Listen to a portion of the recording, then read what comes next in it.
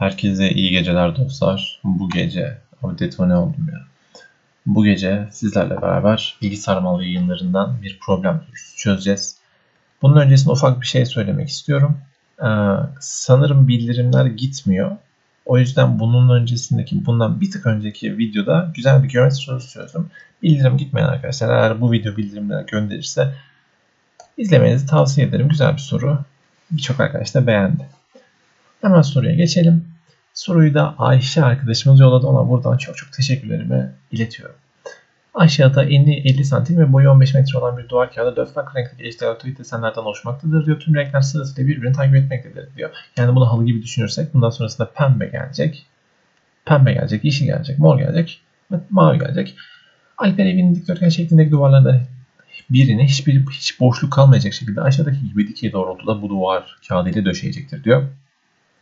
Döşeme işlemini yaparken soldan sağa doğru hep 2 metre uzunluğunda duvar kağıtları kullanılacaktır. 2 metreden daha kısa olan parçalar kullanılmayıp atılacaktır diyor. Bu duvar için 15 metrelik rulo şeklindeki duvar kağıdından çok kaç metre hiç kesilmemiş e, hiç kesilmemiş duvar kağıdı kalmıştır diyor. Şimdi arkadaşlar dediğim gibi bunu halı gibi düşündüğümüz zaman sonrasında ne gelecek? Pembe gelecek, yeşil gelecek, mor gelecek, mavi gelecek. Ve bu aslında bir örüntü gibi düşünürsek hep bu şekilde devam edecek. Ve bunun 15 metre olduğunu bize söylemiş. En baştaki dörtlü parçayı almış, kesmiş, yapıştırmış. Güzel. Ondan sonra normal şartlarda ne gelmesi gerekiyor? Bu mavi yerine pembe gelmesi gerekiyor ama gelmemiş. O zaman biz şöyle düşünürsek eğer. Maviden sonra normal şartlarda pembe gelir, yeşil gelir, mor gelir ve mavi gelir. Bu arkadaş ne yapmış? Buradaki 3 parçayı kesmiş, kullanmak istememiş. Kendi aklınca farklı bir desen oluşturmak istemiş. O yüzden bu parçayı, 3 parçayı kesmiş, köşeye koymuş gibi düşünebiliriz. Mavi geldi. Maviden tekrar başlayarak mavi, pembe, yeşil, mor demiş. E mordan sonra normal şartlarda da gelmesi gerekiyor. Mavi gelmesi gerekiyor değil mi? Ama mavi gelmiş mi? Gelmemiş. Yine desen olsun diye böyle bir girişimde bulunmuş. Ne gelecek normal şartlarda? Mavi gelecek. Maviden sonra pembe gelir. Neden? Çünkü başa dönüyor maviden pembeye başa dönüyor.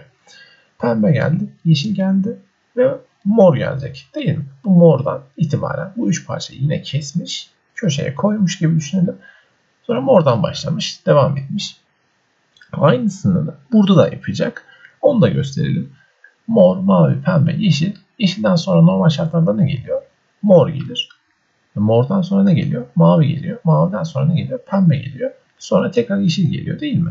Bu arkadaş ne yapmış? Yine bu üç parçayı kesmiş, köşeye koymuş gibi düşünebiliriz. Bundan sonra da devam etmediği için e, tekrar kesebileceğimiz bir şey kalmıyor. E şimdi burasının 2 metre olduğunu vermiş değil mi? 4 tane deltoid 2 metre ise her bir deltoidin şu uzunluğunda ben ne diyebilirim? 50 santim diyebilirim. E, bu arkadaş 3 tane parçayı kesip atıyorsa burada her bir 3 parçaya ben 1,5 metre diyebilirim. Neden? 5, 10, 15 gibi düşünebiliriz. 1,5 metre buradan gelecek. Buradan 150 santim diyelim. 150 santim buradan, 150 santim buradan, 150 santim buradan. Toplam 450 santim oluyor. Bu da neye tekabül ediyor? 4,5 metreye. Artı diyorum. Neden artı diyorum?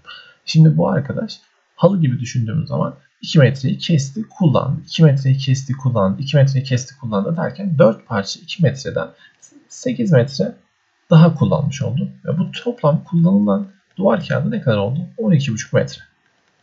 E bize diyor ki hiç kesilmemiş. E siz şimdi 15 metre uzunluğunda bir şeyin bu kadarını keserseniz e şurası hiç kullanılmamış kısmı olmaz mı? O zaman 15'ten 12,5 çıkartacak olursam ne olur? 2,5 metre hiç kullanılmamış kağıt parçası olur. Cevabımız B seçeneği. Umarım anlaşılır olmuştur.